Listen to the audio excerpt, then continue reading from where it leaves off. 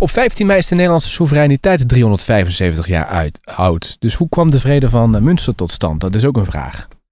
Ja, dat is op zichzelf. Uh, de vrede van Münster is een, een.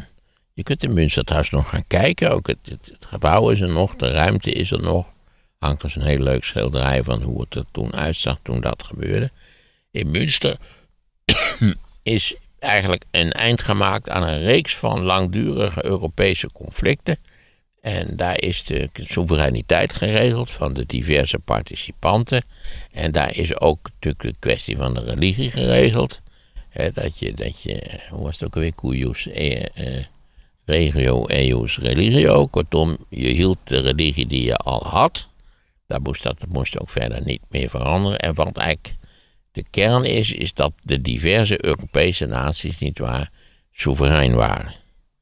En dat, dat daarmee rekening gehouden moest worden. En het fijne voor Nederland was, bij die gelegenheid, dat wij erkend waren. Wij waren natuurlijk een opstandig onderdeel van het Habsburgse Rijk. En we hadden lang gevochten, namelijk vanaf 1568 tot 1648, niet waar, om zelfstandig te worden. In feite hadden we al, wat ik daarnet al zei, was al lang duidelijk dat we dat gewonnen hadden. We waren al lang een van de rijkste landen van Europa geworden.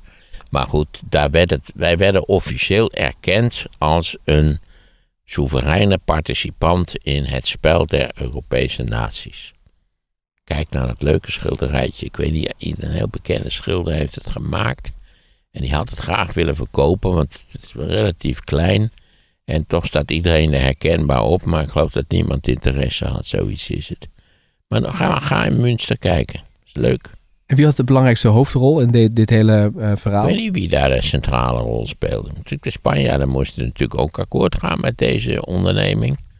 Uh, wie dat nou eerlijk gezegd georganiseerd hadden, dat, dat zou ik naar moeten kijken. En dit was ook een uh, verhaal waarin op de achtergrond, de achterkamers, natuurlijk ook heel veel deals al werden gemaakt, los van die grote vrede. Het geheel was al een reusachtige deal en het is daar vastgelegd. Ja, dus dit is een groot diplomatiek circus wat ooit in Europa in de geschiedenis heeft plaatsgevonden. Ja, en het wordt algemeen gezien als, laten we zeggen, de start van het moderne natiesysteem.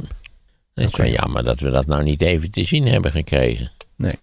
nee. Münster is ook interessant, omdat ze een prachtige kathedraal hebben die van, van na afloop van de Tweede Wereldoorlog niet veel meer over was dan een 1 meter hoog uh, ruïnemuurtje.